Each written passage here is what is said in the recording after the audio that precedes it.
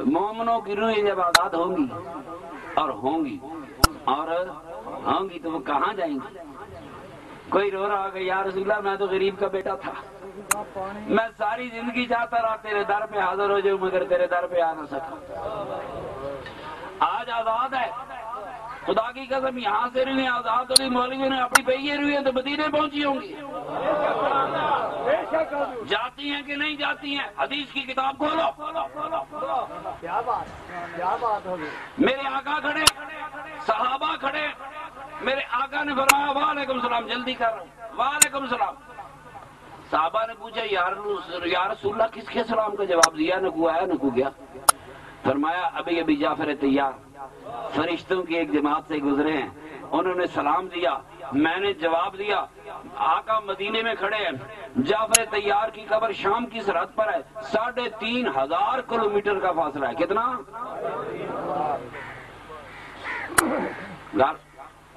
अब दुनिया सिजनुल मोमन, दुनिया मोमन का कैद खाना है। मेरे सरवर कायनात के गुलाम इन कैदों से आज़ाद होंगे। रूहें कैदों से आज़ाद होंगी। आलमी अरवा को तो जाना ही जाना है। पता नहीं वो कौन कौन मेरे सरवर कायनात के रौदे का चक्कर लगा रहा होगा।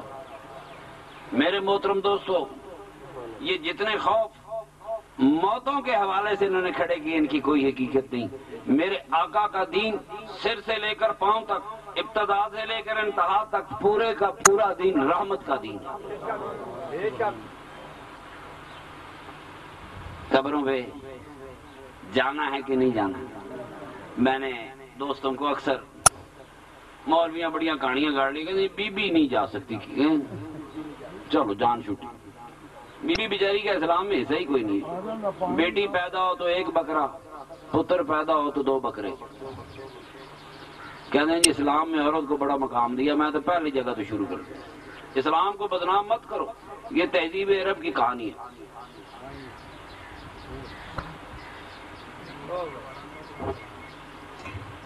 बेटी जा सकती है कि नहीं? माशाल्लाह असम्बलियों में तो जा सकती है ना। जिला काउंसिल में जा सकती है, तहसील काउंसिल में जा सकती है, मगर कब्रस्तान नहीं गई है। मर्दों के दरमियान बैठती है कि नहीं बैठती? मुल्ला कहता है कि बीवी की आवाज़ जो है, औरत की आवाज़ भी औरत है। अगर गैर मर्द सुनेगा तो हराम है। तो वो जो असम्बलियों में बैठ के तकरीरें कर रही होती है, इन्होंने हलाल कर है अपनी आवाज़। हाँ मैं तेरिया वो पढ़ के की कहते जो किताबा जी लिखिया सन की कहते बेइज्जती जेवर पढ़ वे तू अपने तेरी जान निकल जाए। सुने। औरत, मुल्ला, इतना बेदर्द है, बेरहम है, उसे सिर्फ़ एक फ़िक्र है कि लोगों को डरा कर लूट के खाऊं कैसे? डरा हुआ इंसान सही पेमेंट करता है। डरा हुआ इंसान चालीस साल बिस्तरे उठा के फिर सकता है। मेरी बात गौर से सुने। अगर एक हटा जवान आ जाता है, कहता है, जी, दस रुपए दो, बीस रुपए मेरी मदद करो। आप उसे बीस की बातें सुनाते हैं यार हटा कटा है, मजदूरी कर ले, नौकरी कर ले। अगर आपको डाकू पकड़ ले तो क्या डाकू को भी मशवरा देंगे नौकरी कर रहा है, मेले मुलाजम हो जाओ देख लो। नहीं। सारा पैसे दे के आके घर आके देख पकाएँगे, शुक्र खुदा दा डाकू मोड़ो बच गया डरा हुआ आदमी बात मानता है। तेरह सौ साल में इन मुल्लाओं ने सिर्फ़ खुदा और खुदा के रसूल और मज़हब के नाम पर डरा कर लोगों का लहू पिया।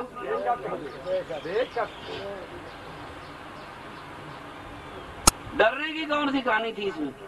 किसे डरता है? सुनो। अक्सर कहते हैं, अल्लाह से डरो। पिंडा च मझ डर जाए, आधे पिंड वास्ते मसला। भैंस डर जाए, आधे गाँव के लिए मसला। डरी हुई भैंस अच्छी नहीं होती, डरी हुई बिल्ली अच्छी नहीं होती डरा हुआ इंसान। पिंड छिक भी होवे, सारे पिंड च गंद पिया होता एक दाना भी हो, सारे गाँव में गंद होता है ना डरी हुई भैंस अच्छी। न डरी हुई बिल्ली अच्छी, न डरा हुआ जानवर अच्छा डरा हुआ इंसान कैसे अच्छा हो सकता है? ये खौफ की कहानी नहीं। एक तरफ़ कहता है, मेरा खालिक है। एक तरफ़ कहता है, मेरा मालिक है। सारी ज़िंदगी जो गुजरी, सो गुजरी, तू मुसलमान था। तू कलमा पढ़ने वाला था। नारे लगाए सरवरे कायनात के। दरूद भेजे सरवरे कायनात पे। मेरी बात सुनो, मलकुल मौत आता है एक आदमी की रूह कब्ज करने के लिए। मगर एक बात सुनो, आपकी रूह कब्ज करने मलकुल मौत नहीं आएगा। आपकी रूह, अगर आप नेक, नेकी के रास्ते इख्तियार करेंगे तो आपकी रूह कब्ज करने के लिए जन्नत के फरिश्ते आएँगे। मोमन की कहानी मलकुल मौत की कहानी नहीं, हदीस की कहानी मलकुल मौत की कहानी बना रहा हूँ। मलकुल मौत आता है और आगे सूंघता है, सर से पाँव तक ईमान की खुशबू नहीं आती। ईमान की खुशबू होती है कि नहीं? दुनिया के किसी घोड़े के पास जाओ, बदबू आएगी। अमरीकी के पास जाएँगे, जितने मर्ज़ी सेंटर लगाए, बदबू आएगी। मेरा मोहम्मद सारा दिन ही चलाएगा, खाले निकालेगा, वापस आके खड़ा होगा, फिर भी इसे बदबू नहीं आएगी। ईमान की खुशबू होती है। मलकुल मौत ने सूँगी नहीं, गौर किया। जबान तारू से लगी थी। सोचा कर्मा पढ़ने वाला था। सोचा आप बताओ खात्मा कहाँ हो? हदीस शरीफ में आता है जन्नत के फरिश्ते को हुक्म देता है इसका जन्नत पे खात्मा कर दो। जो पढ़ने वाला था उसका खात्मा जन्नत पे हो। जिन्होंने हर नमाज़ के बाद अल्लाह मोहम्मद रसूलुल्लाह के ज़िक्र किए उनका खात्मा कैसे होगा? जरा मेरे साथ बात तो करवा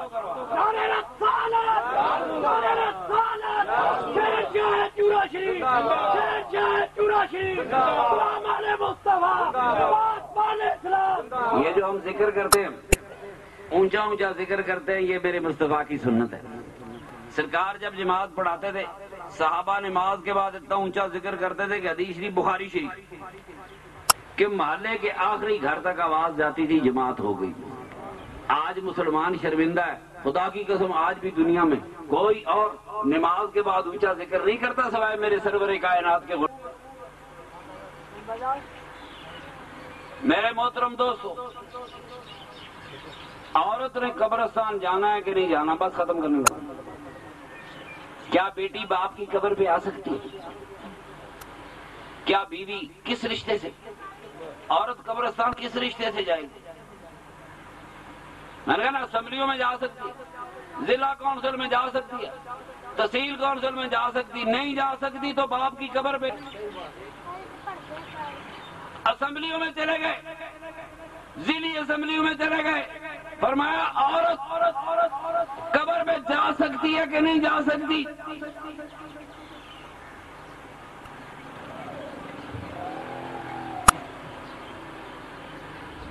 अमीर मोमिनीन उमर फारूक जख्मी हुए। जरा यार तकड़े रहो, नींद आई? नींद आ जाती। तकड़े रहो, आज घर समझाने लगा जी। आप जख्मी हुए। यकीन हो गया कि अब दुनिया से जाना है, शहादत मेरा मुकद्दर है आपने अपने बेटे अब्दुल्ला बिन उमर से कहा जा और जाकर उमर मोमिनीन की खिदमत में अर्ज़ कर कि मेरा बाप कहता है मेरा दिल चाहता है मैं सरवर कायनात की कब्रों में दफन हो जाऊँ। बीबी साहबा से पूछ बीबी साहब इजाज़त दे क्यों जी मसला ठीक कह रहे हैं कि गलत कह रहे हैं? गलत कह रहे हैं ये समझता है कि रोज़े की जियारत को जाना है कि नहीं जाना? उमर फारूक को पता है कि रोज़े की मालका ही कोई और है। तू अपना अकीदा देख। तू उमर फारूक का अकीदा देख। जा बेटे, पूछ, क्या तेरे बाबा का? पूछ के बीबी से? तेरे शोहर का? सरवर कायनात सल्लम का गुलाम, सरवर कायनात के कदमों में दफन होना चाहता है, पूछ लो। क्यों पूछा? रोज़े का मालक कौन था? बीबी जाए कि न जाए, सरवर कायनात के रोज़े की मालका कौन है? तेरे बाबा का। पूछ के आ बीबी से, तेरे शोहर का। सरवर कायनात सल्लम का गुलाम, सरवर कायनात के कदमों में दफन होना चाहता है, पूछ लो। क्यों पूछा? रोज़े का मालक कौन था?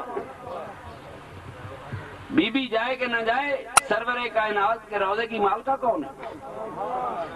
आज बहस कर मेरे कौन मालका है? बीबी जी से पूछ के आओ। यही बात मेरे हजूर के नवासे इमाम हसन ने फरमाई थी कि मेरी इजाज़त लेना, हुसैन देखो उमर मोमिन से इजाज़त लेना दे तो मुझे भी नना के कदमों में दफन कर देना। इजाजतें कौन दे रहा है? वो मुल्ला से इजाज़त कोई नहीं ले रहा था। मुल्ला जी, हजूर के रौदे पे जाना है कि नहीं जाना? मुल्ला जी, हजूर की कब्र पे जाना है कि नहीं जाना? वो मुल्ला से इजाज़त नहीं ले रहे, इजाज़त लेने वाले तो उमुल मोमिनीन से इजाज़त ले रहे थे, सरकार के रौदे की मालका। उठाओ। मेरे आका तो दफन ही अपनी बीवी के हुजरे में हुए। उस हुजरे की माल का नाम उम्मुल मोमिनीन आयशा सिद्दीका है। अपनी बीवी के हुजरे में दफन हुए। आप किताबें उठाए। साहबा ने यह नहीं किया कि बीबी कब्र पे नहीं आ सकती। बीबी जी बाहर निकलो हम रोज़े को ताला लगाने लगे। उसी जगह मेरे सरवर कायनात दफन है, उसी जगह उमुल मोमिनीन की रिहाइश है। तुझे कब्रों से डर लगता है ना? उमुल मोमिनीन को तो नहीं लगा तुझे मौलवी ने डराया था ना? उमुल मोमिनीन को तो बाप ने नहीं डराया था। तुझे रात को कब्रों में मिठा दे, तुझे खौफ आएगा। वो तनहा औरत खड़ी हो। सरवर कायनात का रौदा हो। सफ़ाई कौन करता था? इजाज़त से लोग जाकर सरवर कायनात के रौदा अतर की जियारत किया करते। जियारत तो दूर की बात है, इजाज़त लेकर दफन हुआ कर ये रौदा किसका सारी उम्र। ये रोजा ये रोजा मलकियत है। मेरे आका, सरवर कायनात, उम्मुल मोमिनीन की सरवर कायनात सल्लल्लाहु की जोजा मोहतरमा की मलकियत है। है कोई माई का लाल क्या मत इस मलकियत को चैलेंज कर सके? बीबी के जाने की कहानी तो बहुत पीछे रह गई। तकरीबन सतावन हिजरी में बीबी ने वफात पाई। उमर मोमिनीन ने ग्यारह हिजरी में हजूर ने वफात पाई। ये चौतालीस साल की मौत के बाद रफाकत है। उसी हुजरे में उमर मोमिनीन दफन है हजूर दफन है, उसी हुजरे में उमर मोमिनीन की रिहाइश है। चौतालीस साल रफाकत है। मेरे सरवर कायनात के दुनिया से तशरीफ़ ले जाने के बाद भी। साहबा हाथ से पकड़ते निकलो। बीबियाँ कब्र पे नहीं जाती।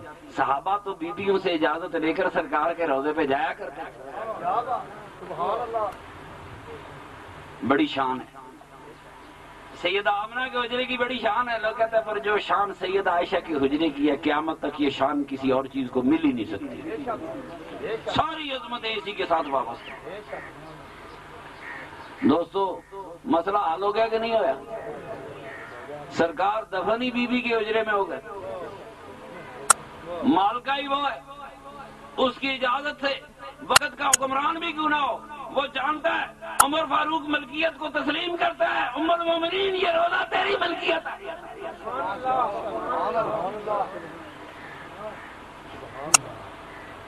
दफन हो जाऊँ। इजाज़त है सरकार के कदमों में। मेरे दोस्तों, औरत किस हवाले से जाएगी? औरत किस हवाले से कब्रस्तान जाएगी? मुमकिन है। कोई बेटी, बदनसीब बेटी या खुश नसीब जो कहे, मुमकिन है कोई बेटी बाप की कब्र पे खड़ी हो। क्या बेटी का हक नहीं? बेटी इंसान नहीं है। जो दीन, आदि इंसानियत को जो मुल्ला आदि इंसानियत को इंसान नहीं समझता, उसको क्या पता है? इस्लाम क्या है? बेटी बाप की कब्र पे खड़ी है। कहीं बेटी माँ की कब्र पे खड़ी है। कभी बेटी भाई की, कोई बहन भाई की कब्र पे खड़ी होगी। बीबी आयशा सिद्दीका, उम्मुल मोमिनीन, हज़रत अब्दुल रहमान की जियारत, रोज़े की भाई था। रोज़े की जियारत को गई, घोड़े पे सवार थी वापस आई पर्दा फरमाया था, सहाबा को आवाज़ देकर कर सुनो। बता दूँ कहाँ से आ रही हूँ मैं अपने भाई की। रोज़े की जियारत करके आ रही हूँ।